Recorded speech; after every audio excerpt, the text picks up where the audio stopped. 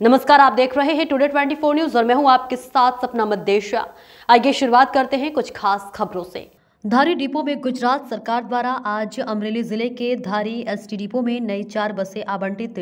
Depot manager कार्य और भाई काकटिया जैसे विधायक ने भी सुझाव दिया कि बस को डालखनिया तक बढ़ाया जाए, ताकि गिर क्षेत्र के लोगों को सूरत जाने का लाभ मिल सके। और काकटिया जैसे लोकप्रिय विधायक श्री